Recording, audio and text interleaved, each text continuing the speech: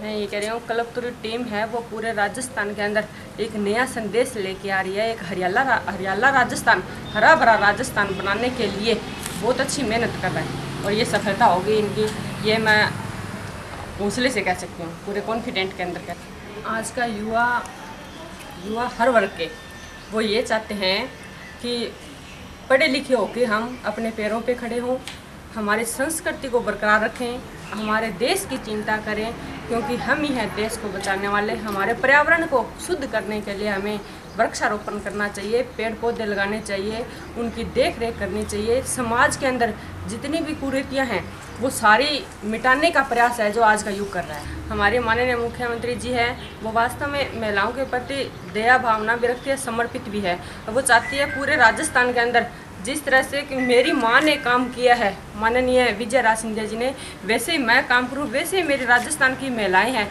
वो एक अच्छा नेतृत्व करे राजस्थान के अंदर और आगे बढ़े, क्योंकि महिलाओं का भी 50 परसेंट हक है। पूरा, पूरे अगर भारत में देखें तो 50 परसेंट है जो हक महिलाओं का है, वो भी बराबर की हिस्सादार बनना चाहती है।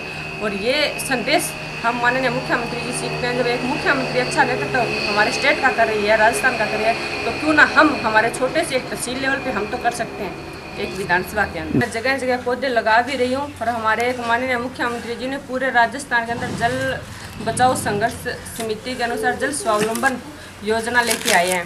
और उसके अंदर पेड़ पौधे भी हम लगा रहे हैं जहाँ जहाँ जोड़े हैं गाँव के अंदर।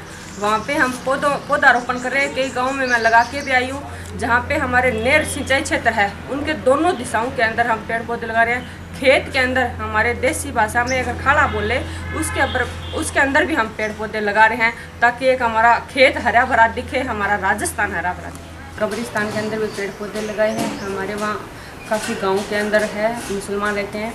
हम मैंने वहाँ पे कल्याण भूमि के अंदर भी पेड़ पौधे लगाए हैं। वहाँ पे मैंने पैसे भी दिए हैं, अपने कोटे से बजट भी दिए है, क्योंकि हमारे क्या वहाँ कब्रिस्तान हो, चाहे शमशान भूमि हो, चाहे स्कूल की हो, वो बाउंड्री बोल है, वो खुली होती है। तो उनके चार दीवारी के लिए बाउंड्री बोल बनाने के लिए मैंने पैसे दिए हैं, ताकि वहाँ स्कूल के अंदर हो, चाहे कल्याण भूमि, शमशान भूमि कब्रिस्तान हो, चाहे कोई सार्वजनिक सामुदायिक भवन हो, उसकी चार दीवारी तो हम पेड़ पौधे अच्छी तरह से लगा